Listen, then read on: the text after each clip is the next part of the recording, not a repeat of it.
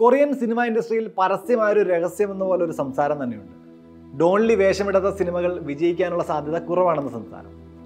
നാൽപ്പത്താറുകാരനായ ഈ നടൻ തൊട്ടതെല്ലാം അവിടെ പൊന്നാക്കുന്ന നടനാണ്. ഇറങ്ങുന്ന സിനിമകളെല്ലാം അവിടെ ബോക്സ് ഓഫീസിൽ തരംഗം സൃഷ്ടിക്കുക മാത്രമല്ല ലോകമാകമാനവും ശ്രദ്ധ നേടുകയും ചെയ്യും. ഇന്ന് കേരളക്കരയിലടക്കം ഒരു ഫാൻ ബേസ് ഉണ്ട് ഡോൺലിക്ക്. ഓരോ പ്രാവശ്യവും അദ്ദേഹത്തിന്റെ ഓരോ പുതിയ പടം ഇറങ്ങുമ്പോഴും കൊറിയൻ ബോക്സ് ഓഫീസിലെ റെക്കോർഡുകളാണ് മാറ്റി എഴുതപ്പെടുന്നത്.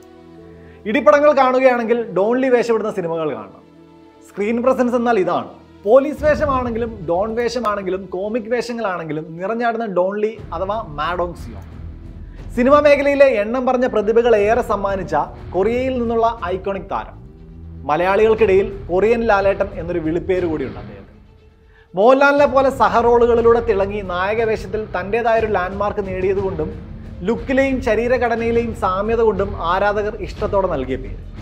അഭിനയിച്ച പടങ്ങളിൽ മുക്കാലും സൂപ്പർ ഹിറ്റ് ഒരേ ഒരു ഡോണ്ട്.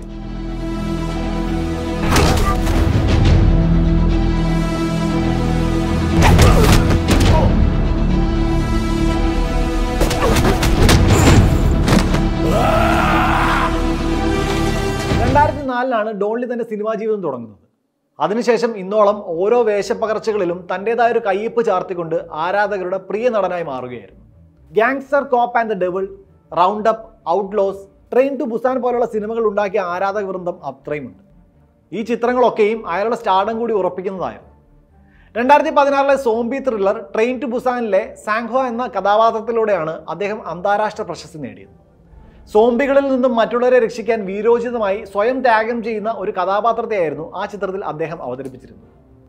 ഈ ചിത്രത്തിലെ അദ്ദേഹത്തിന്റെ പ്രകടനം നേടിക്കൊടുത്ത ആരാധകർ അത്രയും ഉണ്ടായിരുന്നു രണ്ടായിരത്തി ഇരുപത്തൊന്നിൽ ഡോൺലി മാർവൽസിന്റെ എറ്റേണൽസിൽ ഗിൽഗമേശായി ഹോളിവുഡിലും അരങ്ങേറ്റം കുറിക്കുകയുണ്ടായി.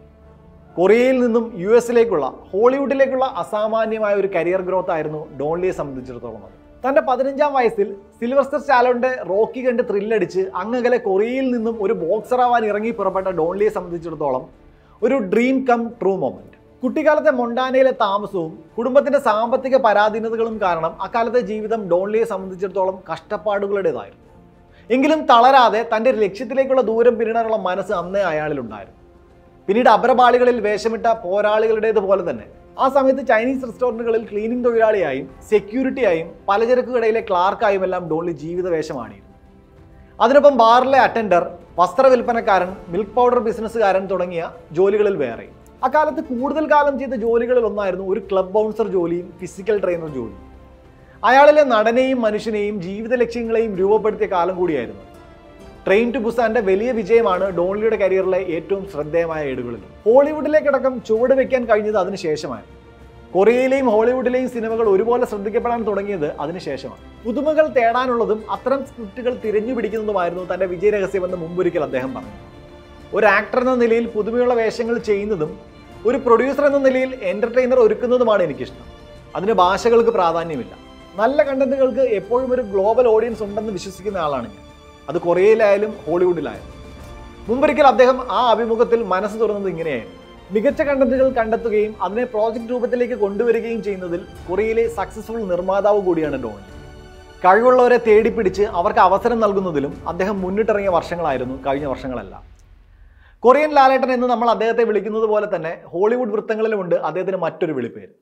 റെസ്ലിംഗ് വേദികളിലൂടെ സിനിമയിലെത്തി ആക്ഷൻ സിനിമകളിലൂടെ വളരെ പെട്ടെന്ന് തന്നെ ശ്രദ്ധ നേടിയ ദ റോക്കിനെ ഓർമ്മിപ്പിച്ചുകൊണ്ട് കൊറിയൻ ഡ്വെയിൻ ജോൺസൺ എന്ന പേര് ഡോൺലിക്കും ഇഷ്ടമുള്ള പേര്. റോക്കിന്റെ കടുത്ത ആരാധകൻ കൂടിയാണ് ഡോൺലി. എങ്കിലും ഇന്ന് റോക്കിനൊപ്പമോ അതിന് തൊട്ട് താഴെയോ ഡോൺലിക്ക് ഹോളിവുഡിലും ആഗോള സിനിമാസ്വാദകർക്കിടയിലും ഒരു ഐഡന്റിറ്റി ഉണ്ട് എന്ന് തന്നെയാണ് സത്യം. പോലീസ് റോളുകളിലും വില്ലൻ റോളുകളിലുമെല്ലാം അദ്ദേഹം കൈ മെയ് മറന്ന് അഭിനയിക്കുമ്പോൾ ആരാധകർ അദ്ദേഹത്തിന് ഒരു സൂപ്പർ ഹീറോ പരിവേഷമാണ് പലപ്പോഴും പതിപ്പിച്ച് നൽകിയത്. രണ്ടായിരത്തി ഇരുപത്തിനാല് ജൂലൈയിൽ സോഷ്യൽ മീഡിയയിൽ ഏറെ ചർച്ചയായ ഒരു പ്രചരണം ഉണ്ടായിരുന്നു. പ്രഭാസ് നായകനായി എത്തുന്ന ഇന്ത്യൻ ചിത്രത്തിൽ ഡോൺലി വില്ലനായി എത്തും എന്നായിരുന്നു ആ വാർത്ത. അനിമലിന് ശേഷം സന്ദീപ് റെഡ്ഡി വാങ്ങിയ സംവിധാനം ചെയ്യുന്ന സ്പിരിറ്റ് എന്ന ചിത്രത്തിലെ വില്ലൻ വേഷം എന്നായിരുന്നു പ്രചരിച്ചത്.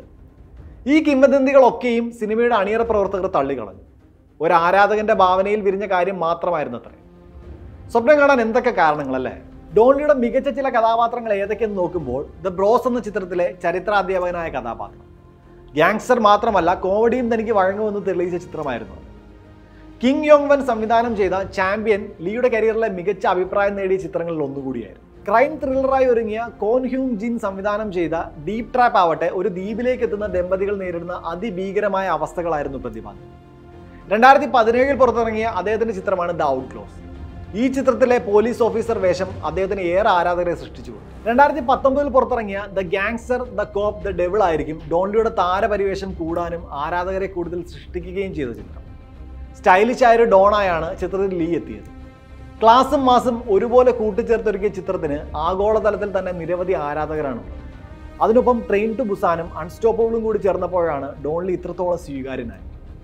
ഡോൺലി ഉള്ളതുകൊണ്ട് മാത്രം കൊറിയൻ പടങ്ങളെ ഇഷ്ടപ്പെട്ടു തുടങ്ങിയ എത്രയോ പേരുണ്ട്. ഒറിജിനാലിറ്റി ഫീൽ ചെയ്യുന്ന ആ ആക്ഷൻ രംഗങ്ങൾ ഉള്ളത് കൊണ്ട് മാത്രം ആ സിനിമകളുടെ ആസ്വാദകരായവർ എത്രയോ പേര്. ഇവിടെ പരാമർശിച്ച പടങ്ങൾ കൂടാതെ ഓരോ പടത്തിലും പ്രേക്ഷകർക്ക് ഇഷ്ടപ്പെട്ടു പോകുന്ന തനിക്ക് മാത്രം അറിയാവുന്ന ചില ചേരുവകൾ കൃത്യമായി ചേർക്കുന്ന നടനാണ് ഡോൺലി എന്ന മാഡോൺ സീക്ക്. നമ്മുടെ കൊറിയൻ ലാലേട്ടൻ.